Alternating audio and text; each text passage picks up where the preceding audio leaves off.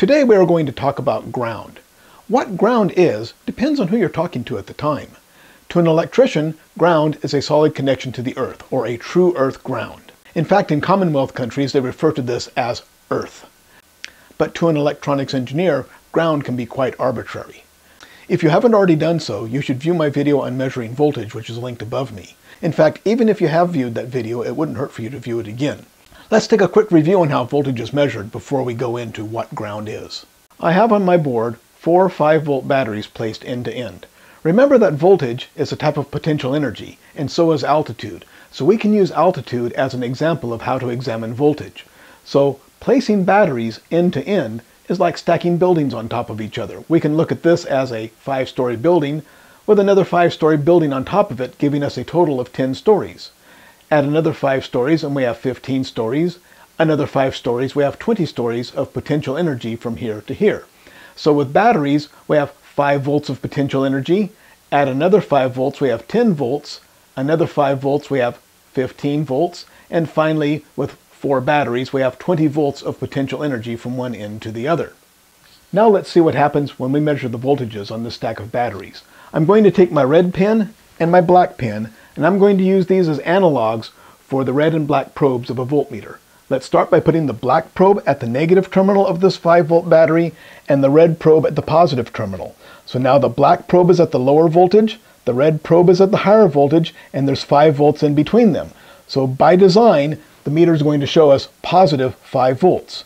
If I move the red probe here, now it will read positive 10 volts, positive 15 volts, now positive 20 volts. What's going to happen if I move the red probe here? Well, remember, the voltmeter tells us the difference in voltage between the two probes. So if the two probes are at the same voltage, it will read 0 volts because there's no difference between the two probes. So if I have the black probe here and the red probe here, it will read 0 volts. So I have 0 volts, 5 volts, 10 volts, 15 volts, and 20 volts. Now let's see what happens if I put the black probe here. Now if I put the red probe here, once again, the red probe is 5 volts higher than the black probe, so the meter will tell us positive 5 volts. But if I move the red probe here, now the red probe is at a lower voltage than the black probe, and the difference is 5 volts, so now the meter will read negative 5 volts. So we will read negative 5 volts, 0 volts, positive 5 volts, positive 10 volts, positive 15 volts. If I move the black probe here, now we have negative 10 volts, negative 5 volts, 0 volts, positive 5 volts, positive 10 volts. If I move the black probe here, now we have negative 15 volts, negative 10 volts, negative 5 volts, 0 volts, positive 5 volts. And last but not least, we have negative 20 volts, negative 15 volts, negative 10 volts, negative 5 volts, and 0 volts. So this shows us that 0 volts is wherever I place the black lead of the voltmeter. Remember, 0 volts is not the absence of voltage. It is merely telling us that the black lead and the red lead are at the same voltage. So there's no difference between the two voltages and the meter reads 0 volts. In electronic circuits, it's very common to place the black lead of the meter at some point in the circuit and call that 0 volts and reference all other voltages measured with the red lead to that point. I avoid calling this ground in the lecture on measuring voltage because I was saving that term for this lecture. But we call that point in the circuit ground. There are two common places in electronic circuits to call ground. One would be the lowest possible voltage or the most negative voltage, and in that case then all of our voltages measured with the red probe are going to be positive voltages no matter where we are in the circuit. The other logical place is going to be in the middle of the stack of batteries. This would be for circuits where it makes sense to have both positive and negative voltages. So I will have positive voltages here and negative voltages here, and anywhere in the circuit I may have a positive or a negative voltage. So the first part of the definition of ground is that's the point in our circuit that we have designated as zero volts by placing the black probe there and measure all other voltages referenced to that point. The other part of the definition of ground is that ground must be able to absorb whatever current is necessary to operate the circuit without that voltage changing. Let's see what happens if we have a place that we think is ground, but the voltage can change when the current changes through that point. I've just added a 1 ohm resistor to this circuit, and let's assume that this circuit is one where it makes sense to have both positive and negative voltages, so our ground is at this point right here. So this is now considered 0 volts. Let's assume that for now there's no current flowing through this resistor. So what's the voltage going to be here? Well remember, for there to be a voltage difference we must have resistance and current. So if there's no current flowing through here, there's no voltage difference. So if this is 0 volts, this is 0 volts. So if I put my probe here by mistake, let's see what happens. Now I have anchored my black probe at this point, but there's no current. It shows 0 volts. So when I measure my voltages with my red probe, everything should be normal. 0 volts, 0 volts, plus 5, plus 10, minus 5, minus 10. No problem. That seems to be working fine as a ground. But let's put some current through there and see what happens. Now I have 1 amp of current flowing into this resistor. What do I expect to happen to the voltage here? Well, I have conventional current flowing into the resistor and I expect the voltage to back up and become higher where that conventional current enters the resistor. So this voltage will go up. And so I have 1 amp going through 1 ohm, so this voltage should go up to positive 1 volt. Now let's see what happens if I measure my voltages. Well, if I have my black lead here, where it should be, the voltages will be no problem. Plus 5, minus 5, plus 1. But if I have my black lead here by mistake, what's going to happen to my voltages? I'm going to see what voltage here? I have the black lead and the red lead at the same place, so here I will see 0 volts. What will I see here? Well, I should see positive 5 here and 0 here. But now my black lead is 1 volt too high. So I have 5 volts here and 1 volt here, there's only a 4 volt difference, so my meter is going to read positive 4 volts.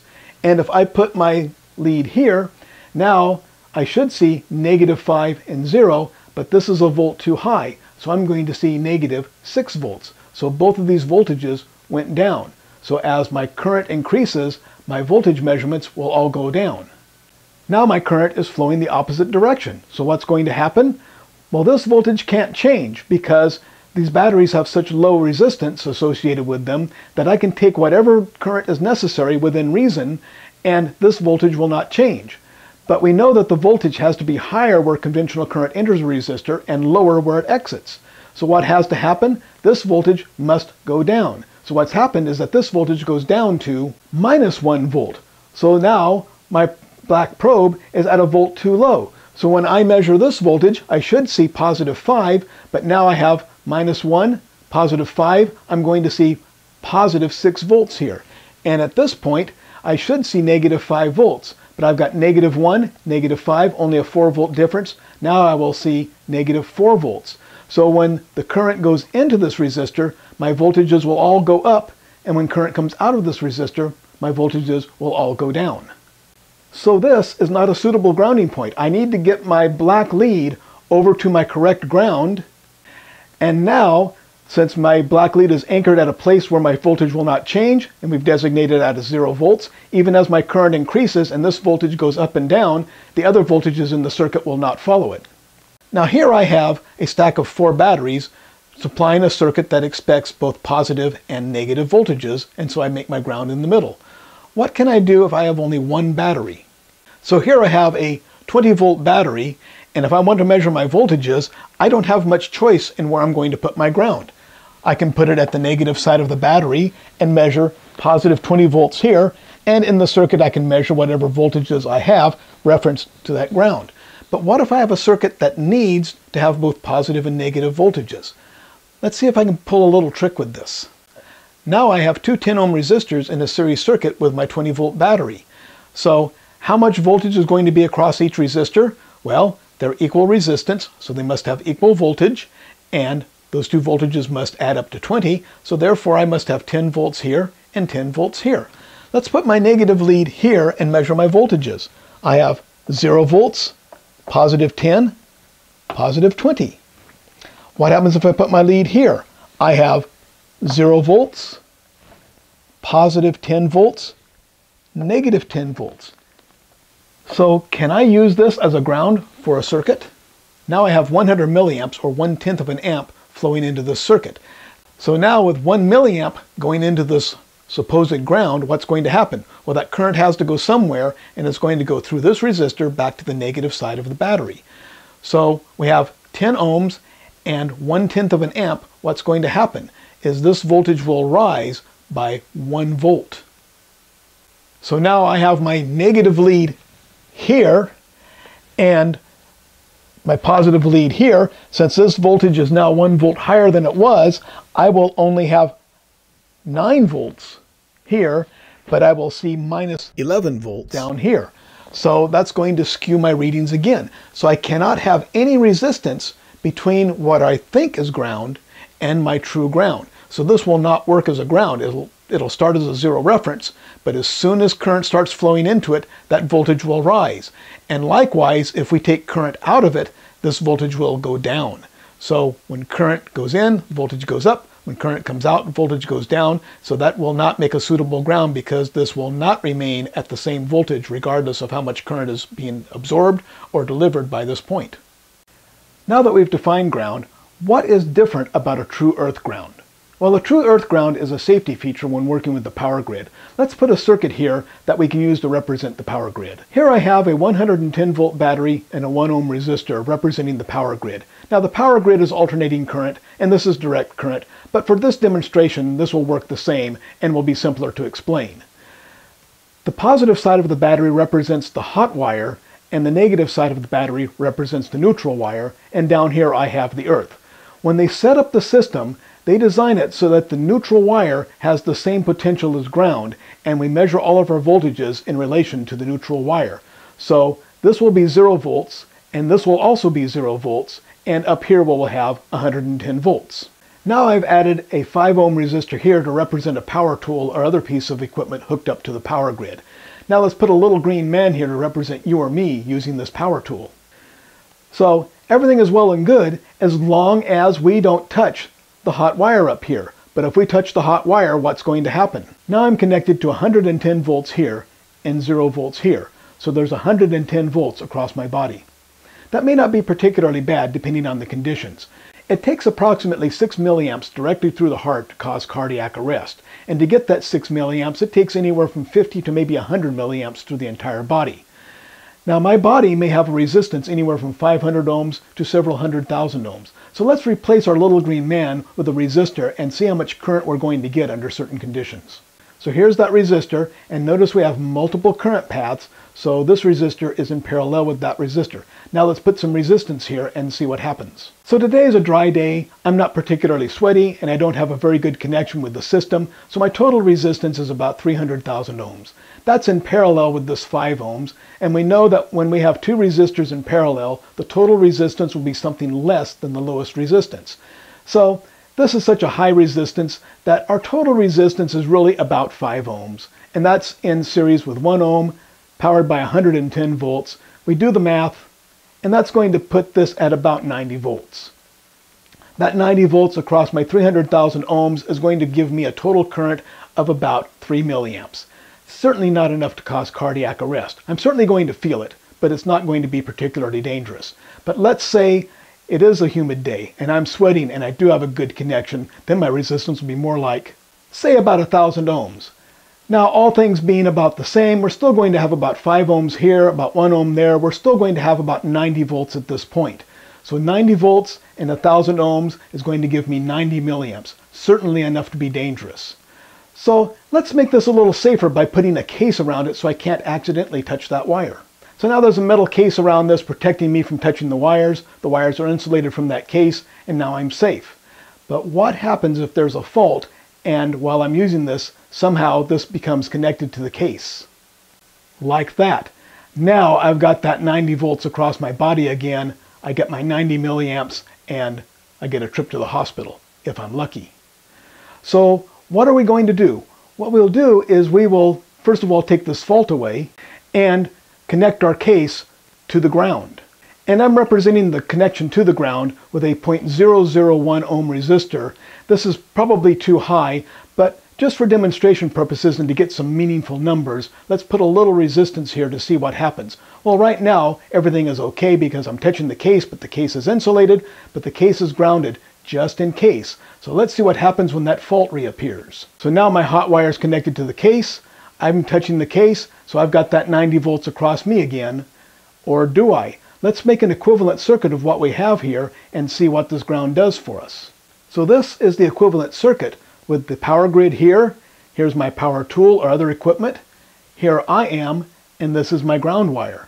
So remember that in a parallel circuit, our total resistance will be lower than our lowest resistance. So altogether, our total resistance will be about 0.001 ohms. Now we have 110 volts and 1.001 ohms. That's going to give us 110 amps. That sounds pretty beefy, but that's 110 amps going through only 0.001 ohms, so the total voltage we'll get here is going to be about a tenth of a volt.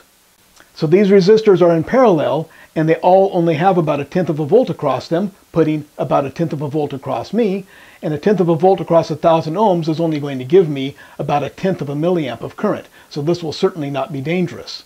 So with this ground here, even if a fault does occur, I'm not going to get enough voltage across my body to deliver the necessary current to be dangerous. Now, this grounded case is not going to protect me if I go and touch the hot lead somehow myself, the grounding of the case is there to protect me in case of a fault. While we're here, this is a good time to bust a popular myth about electricity.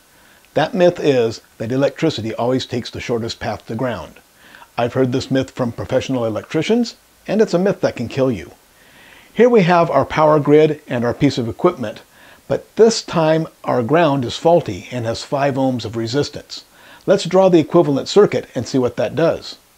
So once again, here's the power grid, here's the piece of equipment, here's the faulty ground, and here's the little green man touching the equipment represented by a 1000 ohm resistor.